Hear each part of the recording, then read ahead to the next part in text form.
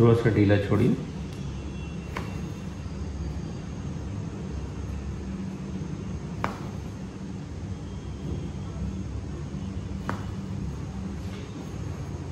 हम sports specialist आज हमारे साथ मोहम्मद अहमद हैं, जो सहारनपुर से आए हैं और इनका कार्योप्रैक्टिक ट्रीटमेंट किया है, जो कि इनकी लोअर बैक और सर्वाइकल पेन और स्टिफनेस के लिए था। और काफ़ी टाइम से इनको पेन और स्टिफनेस बनी हुई थी सर्वाइकल और नेक और लोअर बैक में। उसके लिए काफ़ी ट्रीटमेंट भी ये करा रहे थे सहारनपुर में। तो इनको अभी हमने सेवन सेशन दिए हैं। उसके बाद अभी इनकी क्या फीलिंग है और कितने दिन से पेन था एक बार हम बात करेंगे मोहम्मद अहमद से कि अभी उनको कैसा लग रहा है। तो ये पेन कब से था आपको? ये एक डेढ़ साल हो गया है पेन लगातार और काफ़ी स्टिफ थी बैक एक डेढ़ साल से पेन था बैक स्टिफ रहती थी। तो जो स्टिफनेस और पेन था वो चौबीस घंटे रहता था या सिर्फ़ बैठने उठने में ज़्यादा था? बैठने उठने में या फ़िज़िकल एक्टिविटी में ज़्यादा फील होता था मुझे। फ़िज़िकल एक्टिविटी में ज़्यादा फील होता था। कोई इसका रीजन था? कुछ आप गिरे थे वज़न उठाया था उसके बाद? हुआ वेट उठाया था मैंने थोड़ा जिम में। जिम में वेट उठाया था।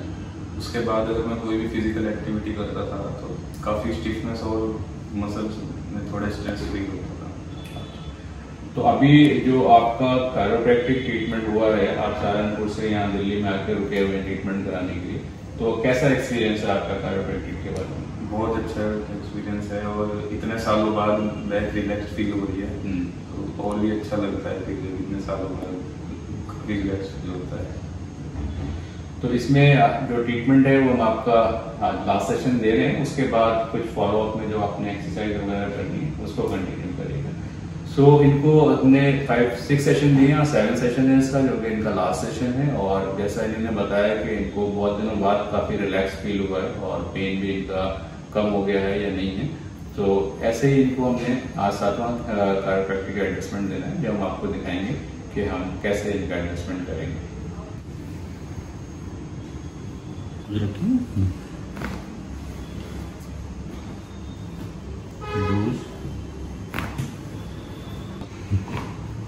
छोड़िए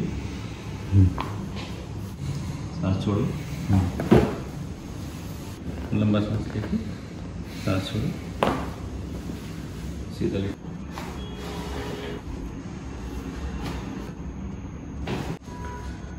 So this was the adjustment for his low back pain and neck pain on stiffness for his spine.